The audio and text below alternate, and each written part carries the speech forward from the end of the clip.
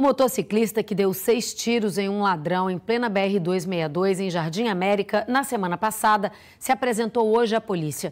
Ele confessou o crime, mas foi liberado. Mesmo assim, vai responder por dois crimes.